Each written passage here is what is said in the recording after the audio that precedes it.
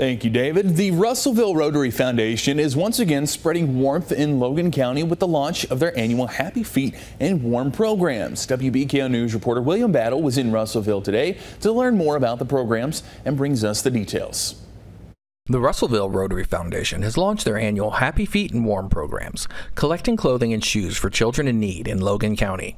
So our program starts August 1st and runs through December 1st. Um, this year we'll be offering shoes, hoodies, leggings, joggers, and coats to all of the schools in Logan County.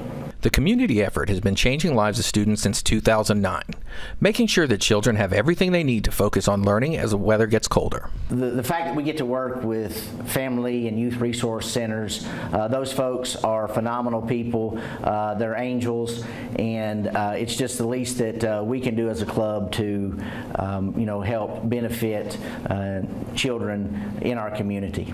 These programs are a collaboration with local family resource youth service centers who identify the children in need of the items. The uh, Friskies from Russellville Independent Schools and Logan County Schools are blessed beyond measure by our local Rotary Club. Every year for the past several years, they have uh, raised money to purchase shoes for our kids, um, the kids who otherwise wouldn't have a new pair of name brand tennis shoes. And uh, for that, we're so grateful. Last year alone, the program distributed 369 shoes, 11 backpacks, 374 joggers and leggings, 251 hoodies, and 96 coats. The Rotary Club has made such a big impact with our students here. So uh, it's just a blessing to be able to provide this stuff for our students and make such an impact in these lives in all the, the schools around the whole county. These programs would not be possible without the generosity of the community who have all pitched in. Um, we couldn't do it without our community sponsors. Those are both organizations and individuals.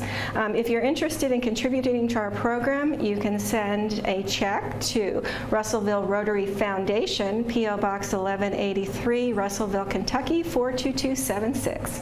In Russellville, William Battle, WBKO News.